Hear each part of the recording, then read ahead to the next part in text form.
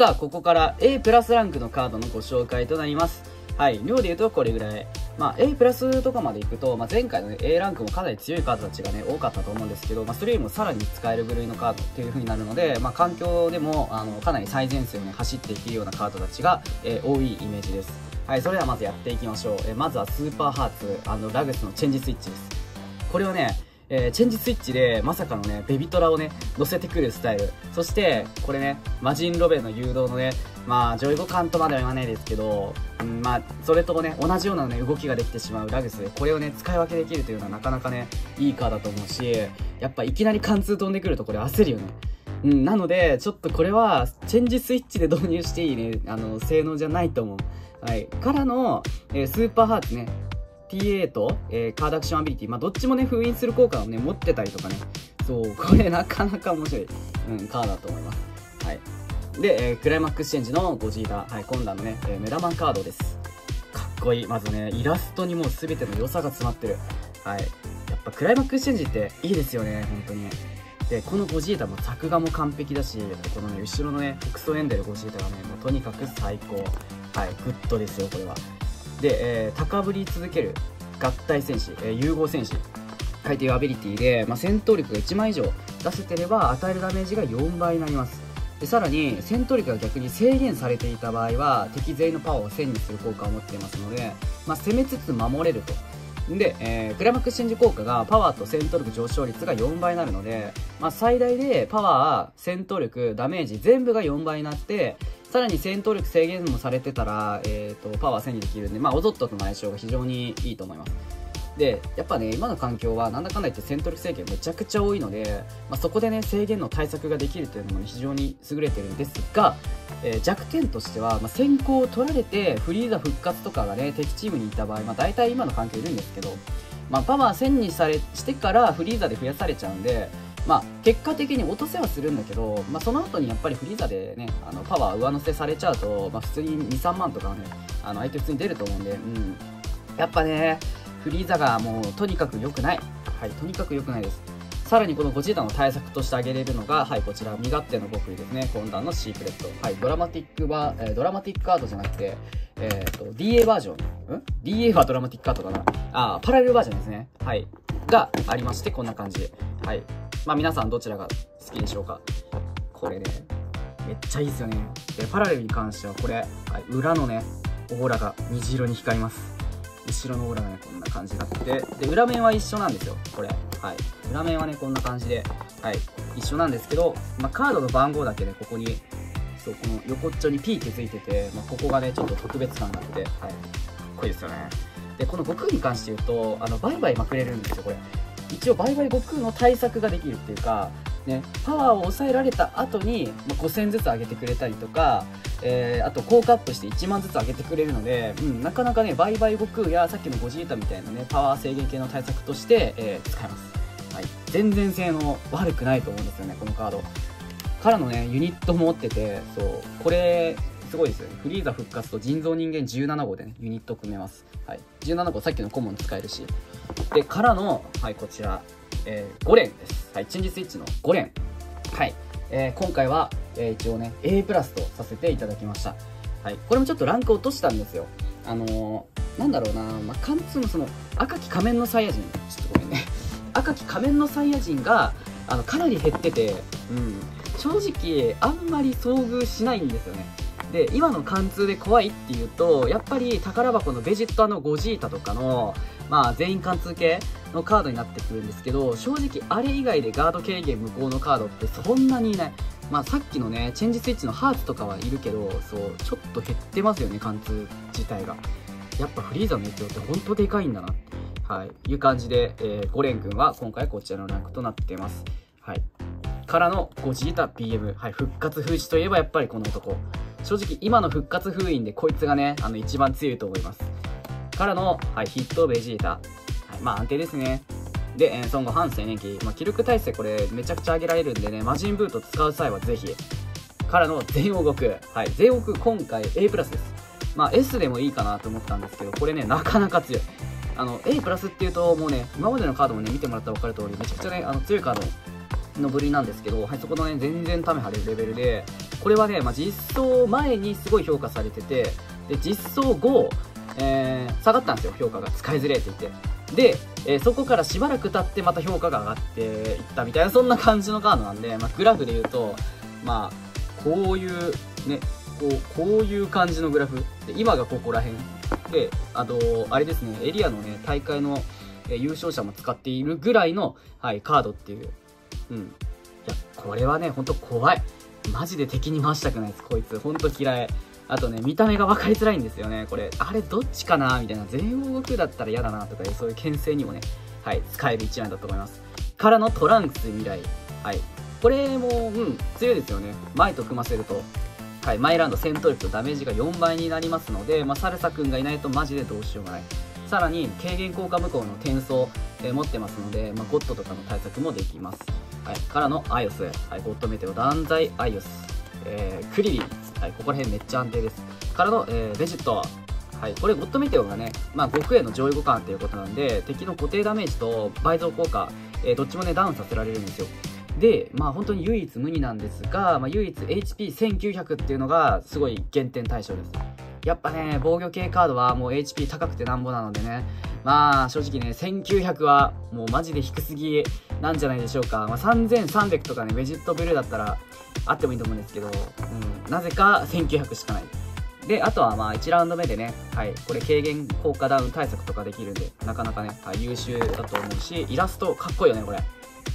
このイラストめっちゃ好き。で、フィンも安定なんですけど、これがマジンベジータのね、影響で弱体化してます。あの、今の環境ってマジンベジータの UR すごい強いんですよ。であいつがシャロットと同じ動きができるので、まあ、戦闘力の上昇率ダウン消してくるんですよね。なのでちょっとね使いづらくなってますねフィンがはいでスーパーイーンのうん言うまではありません。はい1ラウンド目の、えー、カードアクションタッチアクションどっちも潰せますのでやはりねスーパーイーシンロの強みとしてはまあチェンジをさせなくすると。キラカイやゴッドなどの、まあ、1ラウンド目からアドバンテージを取ってくるようなカードの対策として使えて、なおかつ、まあ、レイジングとかの究極バースですね。まあ、こういうベジータとかの究極バースも一緒に潰してくれますので、はい、非常にね、優秀なんですが、レイジングと逆に使っちゃえば、まあ、2ラウンドの間ね、カードアクション、タッチアクションをね、封印、継続させられたりとかで、まあ、とにかくね、はい、外役な、はい、スーパーイーシンロンさんずっと強いね、で、ゴジータ BR。はい。まあ、ゴジータ BR もそうですね、先行さえ取れればね、まあ、パワー1、固定ダメージ無効、えー、からの、まあ、転送でね、まあ、記録を超ダウン、えー、超ダウンっていうか、まあ、超強力な記録ダメージを与えられますので、魔人ブー対策ができたりだとか、はい、こちらも非常にいいカード。うん。エナジー8だけど、これはそんなに気になんないな。なんか別に必殺で火力出していくカードでは、そんなないので、うん。そこまで気になったことはない。な、なんだろうね、このエナジーの調整がなんかよく未だにわかんないんだけど、たまにさ、同じ技でもエナジー6とかさ、ね、低いカードあるのに、これもそうじゃない？瞬間移動ファイナルカメハメハってこれ確か最初8だった気がするんだけど、何なんだろう？はい。で、モナカ、はい。強いね。これもサルサがいなかったら強いけど、まあ、サルサがいたらちょっともう置物になっちゃう感じのカードですかね。はい。で、元気玉国、えー、ジャネンバ、はい。超殺機ジャネンバね。これが、まあ、ピッコロ？超作機のピッコロのね、まあ完全上位互換として結構使われてる1枚で、まあやっぱこれがいると、まあ、レイジングと合わせて2ラウンドね、もう絶対エナジー相手たまらないので、まあ、3ラウンド目でユニットを打たれるっていう心配もないし、えー、あと何ですかね、まあ、ジャネンバの良さとしては、まあ、ミラクルがこれね、超アップするんで、まあ、エリート連携のところがすごい攻撃が決めやすくなるんですよ。うん、とか、まあいろいろとね、あの、いい動きできるし、まあ火力ね、これ、ジャネンバ自体が火力結構出せるから、なかなかね、これ本当に優秀なカーだと思います。はい。ただ、ピン刺しで使うのはそんなにおすすめできないので、やっぱり使う際はレイジング悟空と一緒に使いましょう。はい。で、赤き仮面のサイヤ人。はい。ゴッドランク。最高がゴッドランクだったんですけど、今回はまあ一応 A プラスとさせていただきました。はい。赤き仮面のサイヤ人に関してもそうですね。もう最近はそんなに使う人はいないんじゃないでしょうか。あのいやまあいるとは思うんだけどやっぱりそのね上位互換みたいなさそう宝箱のベジット出ちゃったんでまたこれで同じ用途で使うんだったらやっぱりベジットみたいな感じでねみんな使う人が、えー、多いんでね。うんまあ使いやすさで言うとこっちなんだけどうんどうしてもねやっぱり上位互換が出ちゃうとちょっと薄れちゃいますよね。はい。ただ未だにこれが来たらでも怖いですよねやっぱり。3人貫通ってもうしかもパワー高い順だからさ、ね、そこで火力出しちゃえばいいし、うん、未だに腎臓と合わせて龍拳とかも普通に強い。で、チルド。はい、ここもそうですね。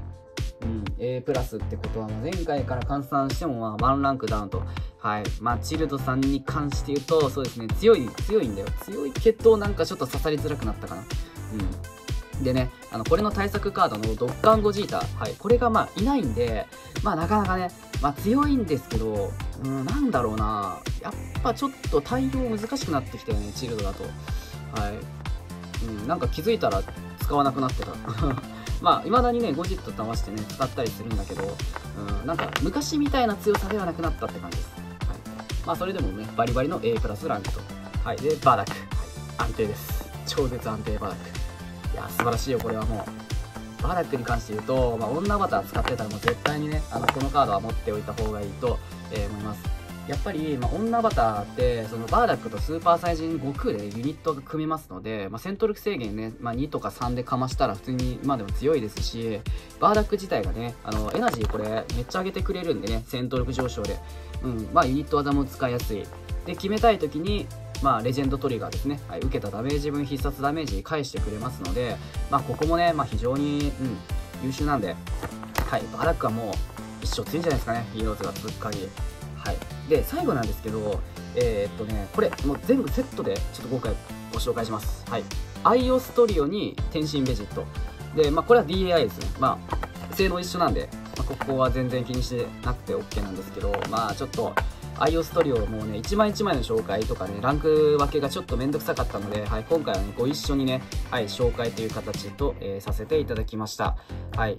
これはそうですねまあやっぱりセットで使いたいよねうんいや、未だに強いよ。うん、A プラスっていうことなんで、未だにね、強いけども、あのー、やっぱいろいろと、ここにね、うん、入れないといけないんですよ、パーツを。なので、アイオストリオだとちょっとね、ガチッとデッキが固まっちゃうイメージですね。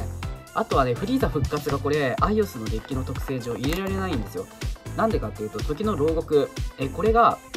えー、パワー100未満の仲間がいる時にしか効果発動しないんですけど、フリーザ復活使うと、戦闘力バトル終了時にこの国威の戦士がパワー上がっちゃうんですよね。つまりパワー1にしたのに戦闘力バトル終了時にパワーがねフリーザ復活で何万とかアップするんでそうなるとこのアイオスの時の牢獄が発動しなくなりますこれ。なんでね、まあ、使う際はアタッカーだけしかパワー上げられないっていう感じなので、まあ、もしね自分が今使うとしたらさっきの悟空の身勝手そうこれでその後にパワー上げたりとかエナジー上げたりすればねまあ相性的にも、まあ、固定戦闘力潰せたりとかすると思うんですよね iOS で。なんでそういう身勝手とかで後からパワーを上げるっていうカードじゃないとちょっときつい。あとはサイヤ人女の子みたいな感じでアタッカーだけのパワーを上げる系のカードだったりとか、まあ、腎臓みたいに自分だけのパワーを上げるみたいなそういうカードであれば iOS との相性はいいんですがフリーザが合わせられないっていうのが致命的にねあのランクダウンそして限定のね要因となってます。はい。あとはねここまでインフレを極めてさらに差し優性能と言われていた iOS なんですけどもそれですらもちょっと環境についていくのがやっとのレベルになってきているというね。はい。これだけ長い文章なのにねなかなかはい。なかなか恐ろしいですね今の環境は。はい。ということで以上が A プラスランクのご紹介でした。はい。いよいよね S ランクのカードのご紹介です。さあ S ランク帯はどういうね性能のカードかっていうともうザ環境トップ。もう最前線で、えー、戦えるカードたちでまあそうですね超高性能な、えー、カードたちが出てくると思います。はい。でえっ、ー、と量で言うとこれぐらいです。まあ、ここからかなりねあの少なくなるのですが、まあ、ちょっと説明はちょっと長めにいこうかなと思ってます。はい、でまずは、はい、こちらコンダンのシークレットレの、え、ベジータ。はい、これねすごいいいですね。あのこれパッと見というか一番最初に見た時の印象はあの正直ねあんまり強さを感じなかったなんですけどもやっぱりねカードというものはね使ってみないとわからない、はい、ベジータに関しては、えー、一番の強みはやはりこれです、はい、悟空とフリーザ復活で戦闘力制限ニットが組めます。えーと、こちらがねもう唯一無二のね、うん、カードで、まあ、やっぱりそのフリーザで戦闘力制限を組めちゃうっていう風になってくるともうフリーザって人権カードなんで、まあ、絶対にもうそうですね100%デッキに入るえー、1枚だと思うんですよね。もうあれを入れないデッキって本当にないじゃん。でそのフリーザがねユニメンに入ってなおかつ悟空に関しても絶対無理なく編成できるカードなんで脳死でユニットが組める、うん、これが非常にね強い。そして、えー、憂いなき闘争、はい、アビリティがまあ、なんちゃって極限対策に加えて軽減ダウンついてますので、まあそうですね、エリートタイプでね、あのその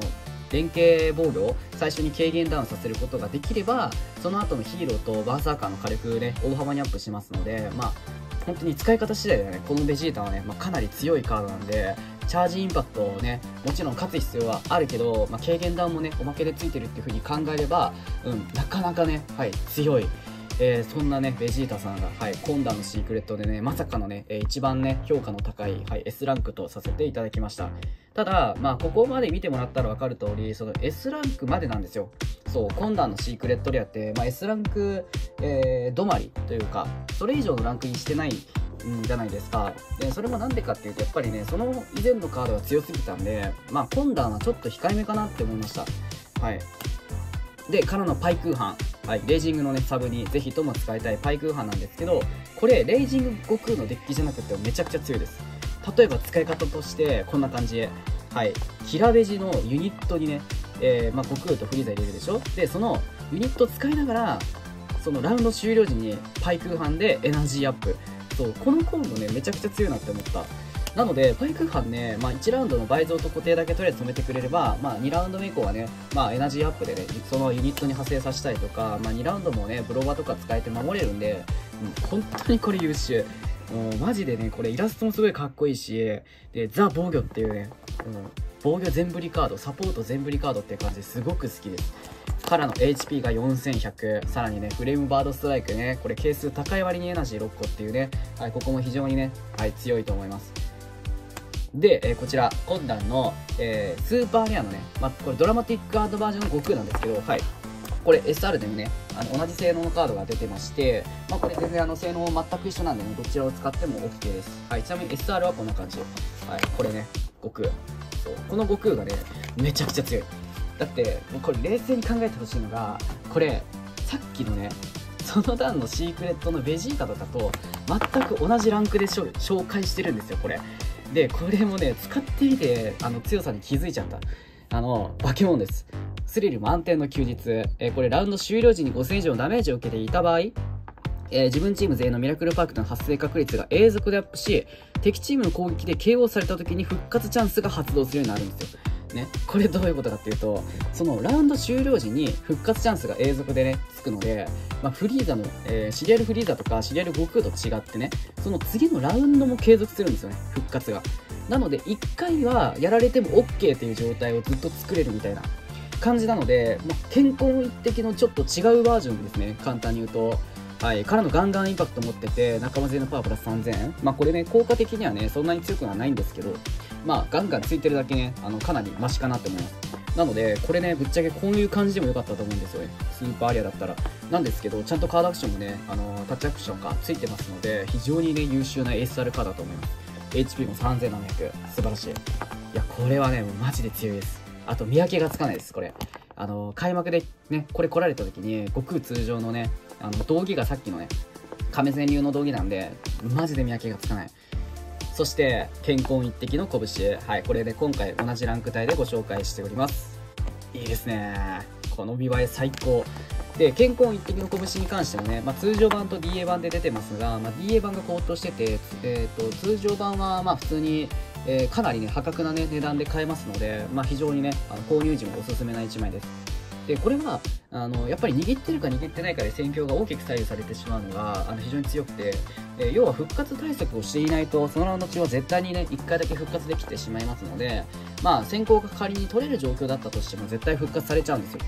で、まあ、ユニットでね、さっきのね、ベジータのユニットとかで、まあ、復活チャンスを潰せますが、それを逆にユニット封印とかエナジー妨害で潰すっていう風にやれば、健康一滴の悟空はね、本当に無敵だと、えー、無敵と言っても過言ではないと思います。で、弱点としてはやっぱり、まあ、ユニットもそうなんですけど、まあ、あれですね、アプリ。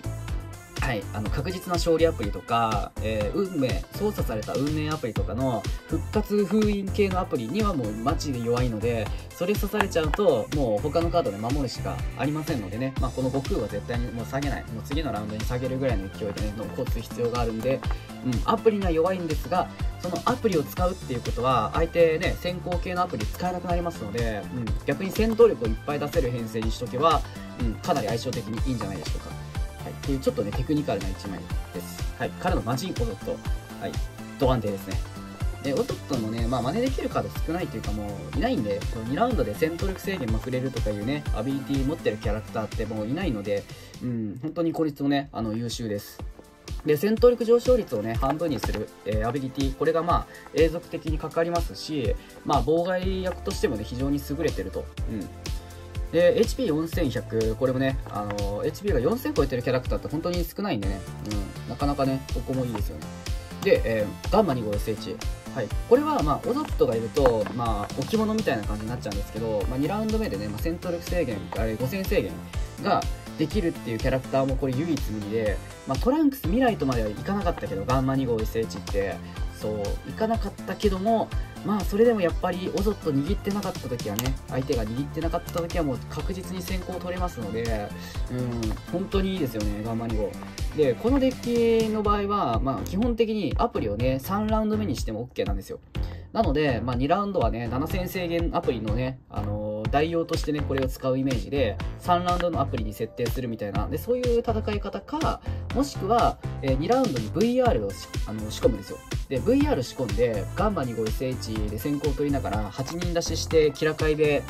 アビリティ全部潰すみたいなデッキも強くてそういう使い方をする人が結構、えー、多いです。でもしくは復活封じ使ってね制限で突っ込んで2キルするとかそう。まあ2キルか、まあ、自分的にねあの3ラウンドアップにする編成まあどっちもね強いかなって思います。でからのポルンガ。はい。強い。お前の願いを叶えてやろう。これねカードアクションアビリティかタッチアクションアビリティか超アビリティそのラウンド中ね封印できるっていう。はい。これも本当に唯一無二な、はい、性能です。で、えー、このポルンガに関してはアビリティが3回まで発動するんですよ。でこれもちょっと多いですよね。なんかこの効果で3回ってなんかめちゃくちゃ多い気がするんですけど、はい。普通2回じゃない？ね。で、なぜかね、3回で。まあ、弱点は HP が1000しかないっていうとこなんですけど、まあ、ここもね、アビリティとのね、えー、相性がいいです。HP が低い方が効果がね、アップするので、まあね、HP 自分チームが相手チームよりも少ない場合は、敵全員にこれ効果を及ぶんですよね。なので、ポルンガのノンアバデッキとかね、結構、あの、多いです。はい。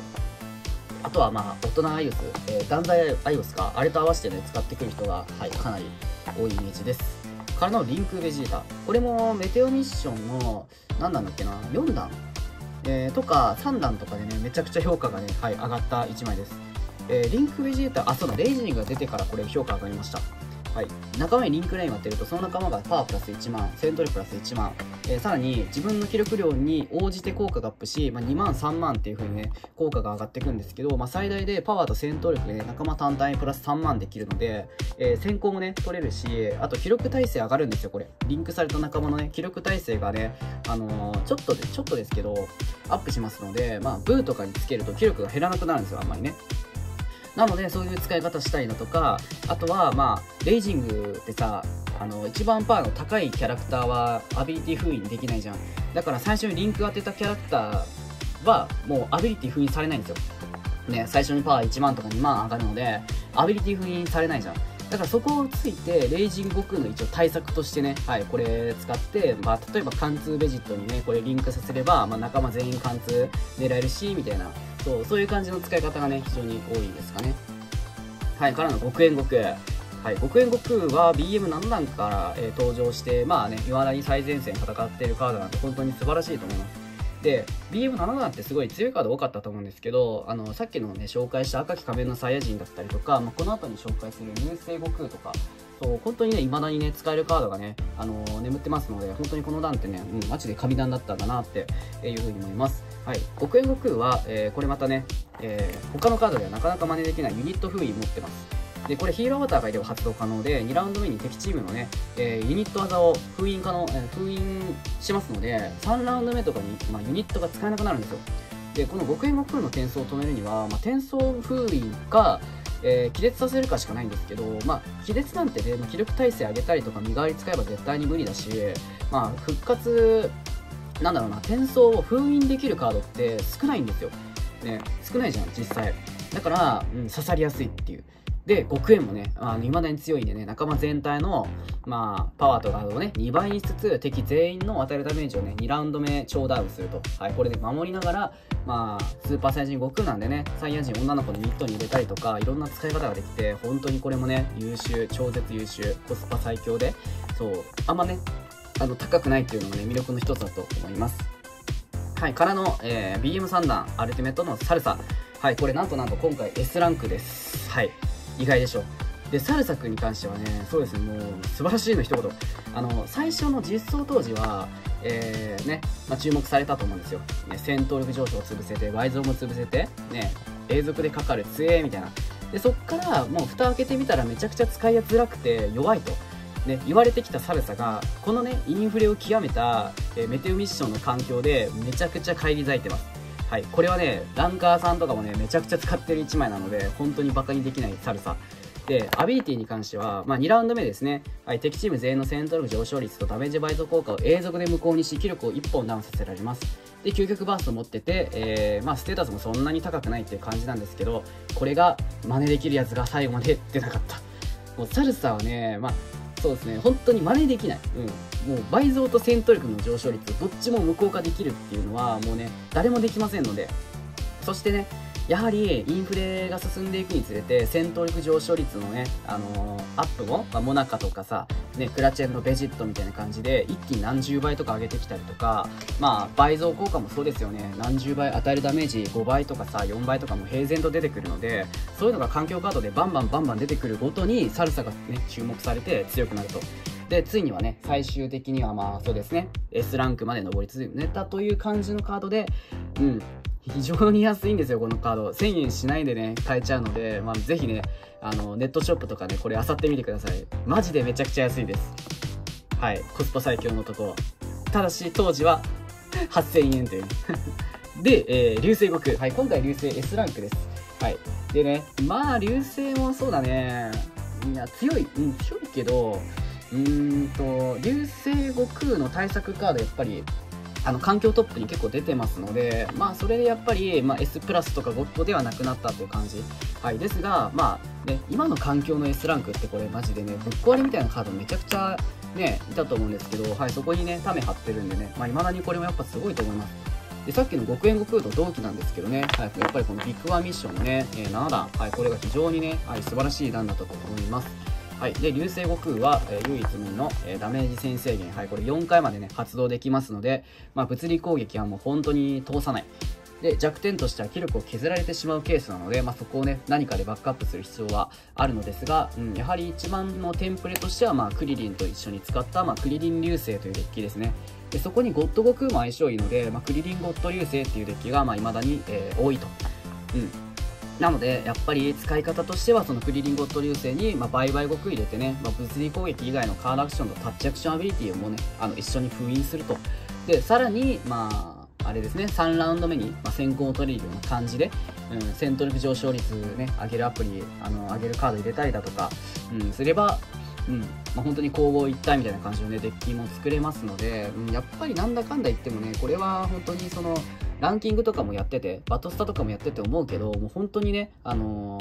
ー、なんだろう、注意、めちゃくちゃ注意すべきカードの1枚で、もう対策ないとね、本当に積んじゃうんでね、うん、マジで流星は未だにね、はい、恐ろしいカードの、えー、1枚だと思います。はい。最後まで環境にいたね、これは。もう、もうね、メテオミッション6段でも落ちないでしょ、さすがに。はい、からの、えー、最後、スーパーベジットと、はい、ポジット、はい、こちらをね、ダブルでご紹介いたします。えー、今回 S ランクですね。えー、っと、まあ、これ一時期最高ランクじゃん。で、これ最高の一歩手前ぐらいだったじゃん。で、これもちょっとインフレに飲まれて、まあ、今回はですね、はい、こちらの S ランクとさせていただきました。はい。えーと、スーパーベジットとかも、まあ、未だにね、まあ、固定ダメージすごいねあの強いと思うし、まあ、ボジットに関してもね、うん、やっぱり相方としてチルドがいますので、まあ、あいつがいる限り、えー、あいつが環境にもいる限り強いという感じなんですけど、うん。まあでも、なんだかんだで値段もね、ちょっとずつ落ち着いてきた。あ、でもそれあれか、差しの影響でちょっと落ちてるだけか。うん。まあでも、そう考えるとすごいですよね、この2枚も。うん。やっぱチェンジスイッチっていう特性がね、非常に強力。で、チェンジスイッチに関して言うと、やっぱ、どっちで来るか分かんないっていうのが非常に強いと思うんですよ。